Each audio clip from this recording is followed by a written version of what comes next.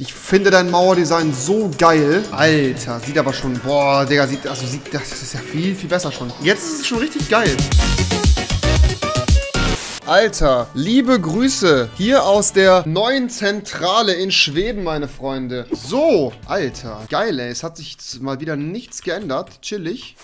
Hallo? Jo, jetzt kann ich dich hören. Also ich bin eigentlich gerade an das Technische dran, aber folgendes, ich kann das auch unterbrechen, aber dann würde ich hier einfach später komplett weitermachen und jetzt bei Pogwarts oder so mit weiter basteln, weil, äh, ja. Ja, ähm, ich bin ein bisschen traurig, Spark. Ja, why? Pogwarts geht nicht voran. Die Leute sind alle weg. Die machen alle gar nichts. Äh, ja, also wir können ja folgendes machen. Wir können ja die Gebäude einfach mal vorziehen mit den Grundrissen. Ja, wir Dann können gleich schon mal die Mauer Da kann man ein böllern. bisschen unabhängig dran arbeiten. Also, pass auf, äh, lass einfach komplett mal vorziehen, die Grundrisse der Mauern und der Gebäude. Damit Aber wir haben ja, wissen, also das Terraforming hast du jetzt gesehen, ne? Das ist ja schon ganz geil geworden eigentlich, ne? Äh, das Geterraform habe ich gesehen, ja. Ja. Das ist schon nice. Ja, pass auf, sollen wir, sollen wir erstmal oben alles einfach mal zurechtziehen? Äh, ja, können wir gerne machen. Ich markiere eben die Stelle, wo das Raumschiff hin soll. Bin ich. Nee, nee, nee, nee, nee! Oh nee, oh nee, oh nein! Ah. Gott, deswegen habe ich überlegt, nicht allein mit dir in Discord zu gehen. Was ist? Hä? Nee, gar nichts. All good. Und bei dir? Äh, alle, Hör alle Zuschauer, Zuhörer kriegen gerade hier einen Hörsturz, absolut. Was war das denn? Was war das? Gab so einen Bug gerade irgendwie. Ja, wir haben auf jeden Fall hier drin, muss auch noch einiges passieren. Wir müssen komplett alles hier. Wieso spawnt da oben ein Creeper? Digga, der, der spawnt neben einer Fackel. Das kannst du mir nicht erzählen. Kann man mit einem äh, Light Resource Pack drüber. Ich habe meins installiert, wo man sehen kann, wie, wie viel Lichtlevel wo ist. Dann sieht man, ob Mobs spawnen kann. Von wo werde ich beschossen? Ach, Digga, weg. Lass Ja, es. äh, ausleuchten können wir gleich auch nochmal. Gib mir noch eine kurze Sekunde. Ich markiere die Stelle für Kevs Schiff. Ich habe jetzt alles markiert wegen Raumschiff, bin durch und wäre jetzt bei Hogwarts. Ich habe ein paar Steine dabei. Wir können einfach mal mit Bricks oder so ganz grob vorzeichnen, wie du es dir vorstellst. Es gab ja die Skizze. Spark. Jetzt müssen wir mal kurz überlegen. Also eigentlich, es gibt noch ein neues Mauerdesign, ne? Haben wir noch nicht drüber geredet. es gibt noch das schwarze Mauerdesign hier, ne? Von wem ist das? Von dir? Das ist von Iosa.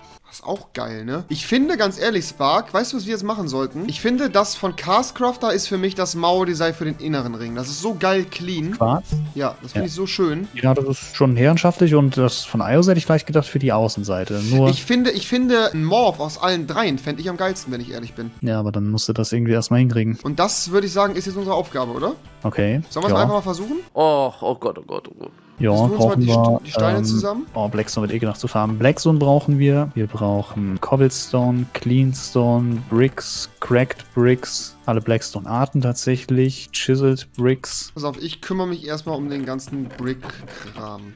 Aber findest du eigentlich, dass die äußere Mauer höher sein soll als die innere Mauer? Auf so? jeden Fall. Also ich finde sogar, dass die Weil- Mauer von, ich finde sogar, dass die Mauer von Crocodile Andy nochmal fünf Blöcke höher könnte. Ja, so in der Art, weil Ne? ist ja so, dass der Außenwall immer größer ist als nochmal der Innenwall. Richtig, genau. Ach, ist plötzlich da. Ja, dann kann der mal direkt mithelfen. So, Norman hat eh Bock da drauf. Veto. Ja, ich glaube, Spark, wir sind hier auf einer guten Wave. Guck mal. Wir müssen, müssen mal ganz kurz gucken, die Mauer direkt abschätzen von der Höhe. Also wenn man das Fundament gemacht, ist klar, dann kommt ungefähr die Mauerhöhe drauf. Du wolltest ja noch fünf Blöcke höher machen als die Quarzmauer. Jetzt können wir Richtig. überlegen, machen wir die Quarzmauer ein bisschen niedriger und dafür die andere nicht ganz so arg hoch, weil wir sind jetzt hier bei dem eigentlichen Mauerhöhe. 1, 2, 3, 4, 7 Blöcke ist die hoch plus Zinn. So hoch ist die auf keinen Fall. Zu hoch ist die auf keinen Fall. Das ist sehr geil. Ich überlege halt nur gerade, ob wir den Blackstone nicht in der Mitte auch noch durchziehen. Ja, das wäre die andere Sache. Hätte Ja. ich vielleicht auch gedacht, aber ich wusste jetzt nicht, ob du ihn unbedingt da haben willst. Sieht halt aus wie ein Adler, ne? Dieses Ding in der Mitte. Kannst du mal unten das entfernen, das mit den Zäunen? Und da einfach Stripe Blackstone reinziehen? Meinst Das das komplett, hier? genau, das komplett einmal weg.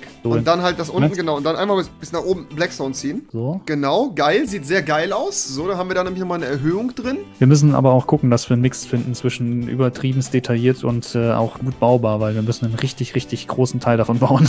Das müsst ihr mit bedenken. Ich finde trotzdem das Cobblestone-Element hier sehr passend. Das ist auf jeden Fall für mich schon mal gesetzt. Das ist safe, finde ich. Oder? Was sagt ihr? Ja, passt jetzt. Also, weil, weil die Mauer so niedrig war, hat war das nicht so gut gepasst, aber wenn die so hoch ist, dann geht's. Boah, das ist wirklich echt eine schwierige Aufgabe, ne? Ja, es kommt zusammen, es kommt zusammen. Check mal, Leute. Jetzt ist es eigentlich ganz geil. Lass uns das auch mal so hochziehen. Ich finde das jetzt schon ziemlich nice. Ich ich finde das Fundament auf jeden Fall schon mal ganz geil. Also das bis hier ist es perfekt so. Da müssen wir uns halt nur über den oberen Teil ein paar Gedanken noch machen. Ich bin mit dem Y, weiß ich noch nicht so ganz. Aber ich ziehe jetzt trotzdem mal ganz kurz das eine Mauerelement bis hoch. Warte mal. Ich glaube, es sieht auch nochmal viel krasser aus, wenn die Mauer dann auch noch Breite hat. Weil Ja, ja, klar, natürlich. Natürlich. Die Leute, die bleibt ja auch nicht so schmal. Nicht, dass ihr das jetzt irgendwie vercheckt. Das von Kroko noch oben drauf, ne? Was hat Coco gebaut? Das Blackstone oder das... Die Fence Gates nochmal oben rein.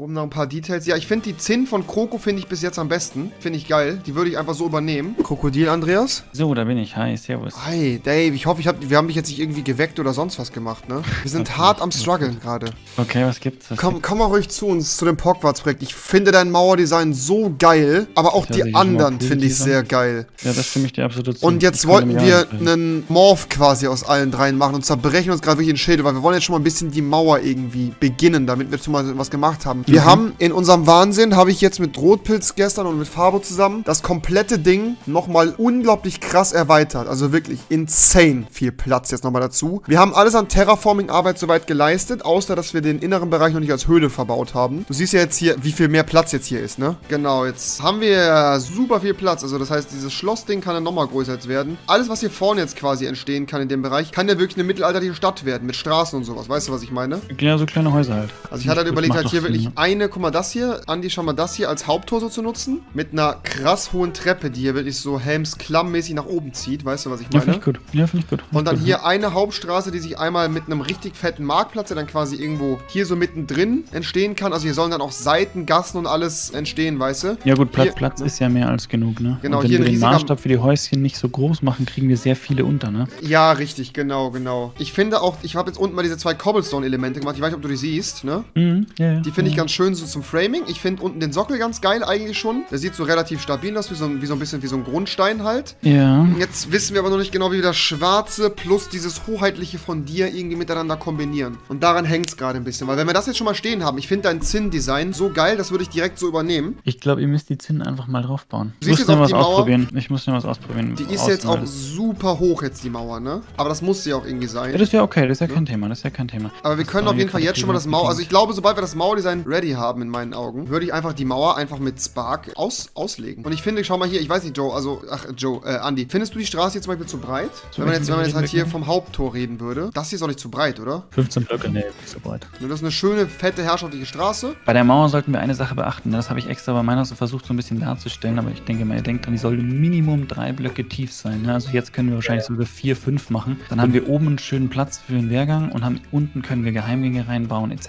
Ne? Alter, sieht aber schon, boah, Digga, sieht, also sieht, das ist ja viel, viel besser schon. Ja, es ja, ist ne? schon viel, viel besser. Das, du hast recht, das ist einfach nur, jetzt ist es schon richtig geil. Aber wir müssen noch ein paar von diesen geilen Zaunelementen, das finde ich so schön eigentlich. Mir fällt gerade auf, Spark, guck mal unten da, wo diese kleinen Dinger sind, diese Zinnen, ne? Da, wo du gerade drauf guckst, diese Stairs, ne? Wenn man die einreißt, dann hat man da noch einen kleinen Wehrgang drin. Untere Ebene. Ja, irgendwas mäßig, oder? Ja, aber glaub, ich glaube, also was wir Mit, mit, sollten, mit Gittern oder so. Ja, Schießscharte, irgendwie die- sowas halt, genau. Aber ich finde es hier sehr niedrig. Ich finde es halt hier sehr niedrig, ne? Ja, oder halt in der Mitte muss noch irgendwie was rein. Das stimmt, da muss halt ein bisschen was da höher noch irgendwie Jetzt rein. soll man da hin später, oder was? Ja, man, also man muss halt ballern können, ne? Ah, Digga, aber das Mauerdesign, Kroko, wie sollen wir das denn in Kurven hinbekommen? Ja, aber das, da, ganz ehrlich, Frage. da, dafür sind wir doch eigentlich alles smart genug. Wir müssen natürlich, wir, wir dröseln das dann einfach auf. Das wird dann einfach. Ich kann es ich kann's gerne mal, also ich habe heute leider keine Zeit mehr, aber ich kann das gerne mal angehen, dann mache ich uns mal eins um die Kurve. Da müssen wir tatsächlich einfach ein bisschen freier werden und Ja. weniger an diese ganz strengen Regeln halten. Wir wissen, wir wollen pro Segment zwei so blaue Elemente drin haben und dann ist es immer gerahmt von was Schwarzem. Ich fände es auch eigentlich gar nicht schlimm, wenn man die Diagonalen oder wenn es um Kurven geht, weniger detailreich macht und einfach nur auf den Geraden mehr Verzierung Auch richtig, ja, auch,